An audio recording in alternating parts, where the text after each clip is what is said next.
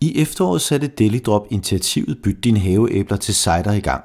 Målet var at indsamle 1 tons haveæbler og få produceret den første deciderede oceansk cider.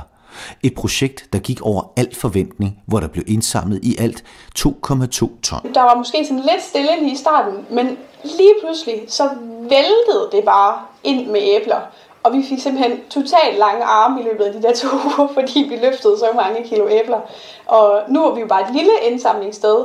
Øhm, og her ved os, der samlede vi bare 600 kilo ind, så det var totalt overvældende.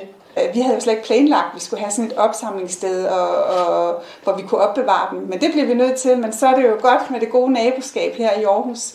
Fordi så snakkede vi med Weekend Danmark, som bor ude øh, Aqua Food Park, og de, har en, de havde en lade, hvor det var koldt, og hvor det, var, hvor det kunne være opbevares. Så, så det lykkedes. Øh, og så lå vi simpelthen i pendulfart imellem vores tre opsamlingssteder. Jamen det endte jo med den her fantastiske, deciderede oceanske øh, cider, og øh, vi var jo så begejstrede, også lidt spændte på at høre, hvad Cornelius derovre fra han ville sige, når han fik æblerne.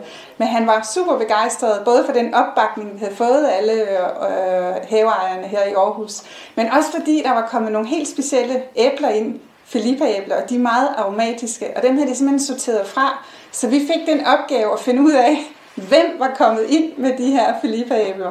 Og det er faktisk lykkedes, og vi har fået en aftale med, at nu kommer han også til næste år, så det er vi jo rigtig glade for.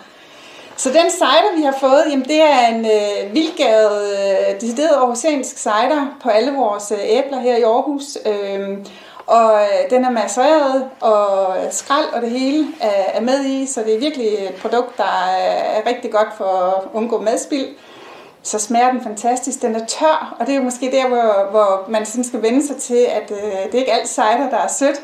Så den er tør, men frugtig. Og så er der nogle gange lidt undertone også af den her vildgæring. Så meget, meget spændende pet nat øh, cider, som vi er utrolig stolte af. Altså, øh, jeg har lige fyldt en kasse mere ind i køleskabet, så nu har jeg kun én kasse tilbage. Men vi har virkelig haft mange besøgende forbi, som øh, har været forbi at skulle have fingrene i den her cider her. Hvad er målet så til næste år? Jamen altså, vi har jo ikke fået den endelige målsætning fastsat, men vi vil virkelig gerne have 3-4 ton, øh, så at vi kan få øh, solgt vores cider meget længere tid, fordi vi tænker, at den løber vi tør for her i øh, april-maj.